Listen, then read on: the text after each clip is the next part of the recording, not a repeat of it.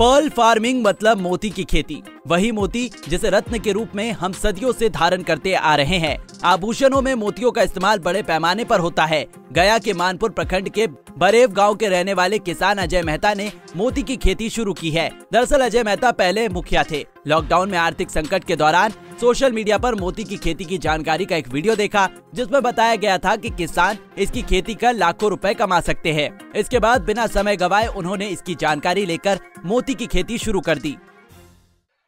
देखिए, मैं यूट्यूब पर कुछ नया सीखने के लिए हमेशा कुछ न कुछ सर्च करता रहता हूँ। तो लगभग एक साल पहले यूट्यूब पर हम देखे थे कि मोती का खेती मतलब गाँव देहात में भी किया जा सकता है।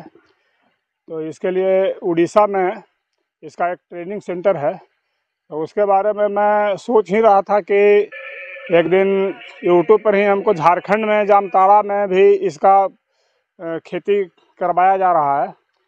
वो जामताड़ा में जो आत्मा है, कृषि विभाग का जो कार्यालय होता है तो आत्मा के थ्रू वहाँ मोती का खेती और ट्रेनिंग करवाया जा रहा था।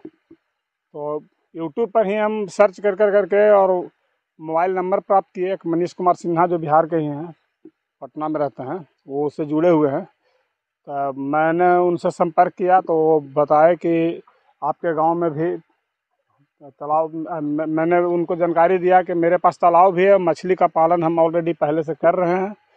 तो क्या उसमें भी मोती का खेती किया जा सकता है? तो उन्होंने बोला कि वो तो आपके लिए प्लस पॉइंट है कि आपको एक्स्ट्रा कोई खर्च नहीं होगा। और मोती का खेती आप कर सकते हैं। मैंने उनसे संपर्क किया, वो हमारे पास आए विज़िट किए। फिर जो प्रोसेस था, वो हमने ये किया। उसके बाद उन्होंने सीप ला कर करके दिया। और दो महीना होने जा रहा है और इसके बाद इसको ऑपरेशन किया जाएगा एक सप्ताह के अंदर में, जिसमें हम लोग जो अभी मोती का खेती कर रहे हैं, वो मॉडलर मोती है। इस मॉड्यूलर मोती की मांग भारत के साथ साथ विदेशों में भी बहुत ज़्यादा है। उन्होंने युवाओं को संदेश देते हुए कहा कि नौकरी करने से अच्छा मुनाफा मोती की खेती, मछली पालन और बकरी पालन में किया जा सकता है। मतलब इसका सीप का कवच जो होता है, उसी को मरने के बाद डेड जो कवच होता है, उसको पीस कर कर को कुछ केमिकल्स वगैरह मिला कर करके बनाया जाता है और उसी को ऑपरेशन के द्वारा एक साँचा डाल दिया जाता है, जिसमें परत दर परत जब किसी के आँख में अगर मान लिया जाए कि वो कन पड़ता है तो तकलीफ़ होता है तो आँसू निकलता है।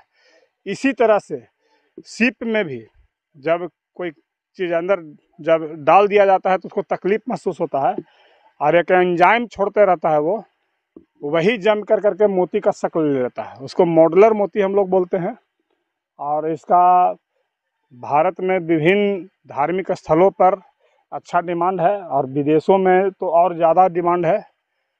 शुरुआती तौर पर कितना इसमें लागत है हाँ शुरुआती तौर पर हमारा यहाँ इसमें लागत कॉस्ट एक लाख का है दो हज़ार सिप पर जिसमें मेरे को फिफ्टी परसेंट अभी लगाया गया है। मेरे तरफ़ से फिफ्टी परसेंट आत्मा जामताड़ा जो है उसके तरफ़ से लोन के रूप में दिया गया है। कितना दिन में तैयार होगा? ये चौदह महीना में तैयार हो जाएगा। वही जिला कृषि पदाधिकारी सुदामा महतो ने कहा कि किसानों को प्रशिक्षण के लिए भेजा जाएगा जहाँ वे मोती की खेती देखेंगे। देखिए मोती की खेती के लिए जो है आर्टिफिशियल जो है पर्ल कल्चर उसको कहते हैं। तो मोती की खेती के लिए अभी एक दो किसान तैयार हो रहे हैं। उनको हम लोग अभी आत्मा से ट्रेनिंग के लिए भेजेंगे। क्योंकि मोती का कल्चर जो है गुलाब में उसका थोड़ा सा वो थोड़ा सा सोफिस्टिकेटेड पूरी सीखने की चीज़ है। तो किसान, एक किसान तैयार हुए हैं, उनको प्रशिक्षण के लिए भेजेंगे। अगर वो सफल रहेगा तो फिर आगे किसानों को देंगे मोती का नहीं इसमें अभी सब्सिडी की बात नहीं है। अभी सब्सिडी की बात मोती की खेती पर अभी गया ज़िले में कोई सब्सिडी की बात नहीं है। अभी मुख्य चीज़ है कि किसान कोई तैयार हैं तो उनको हम लोग जो है, सीफा जो है, वो भेजना है। Central institute of fresh water जो इस जगह है, वहाँ कटक में है। वहाँ हम लोग ट्रेनिंग दिलाएँगे और अगर किसान सफल रहते हैं तो फिर आगे उसकी प्रक्रिया बढ़ाएँगे। मोती की खेती इन दिनों किसानों की किस्मत चमका रही है। बाज़ार में एक मोती की कीमत 200 से 2000 रुपए तक की है। एक सिप के अंदर दो मोती होते हैं, जिसमें किसान एक बार इसे करने के कुछ समय बाद ही अपनी लागत निकाल लेते हैं, जिसके बाद ये मुनाफे का सौदा है। पंजाब केसरी टीवी के लिए गया ऐसी अजीत कुमार की रिपोर्ट।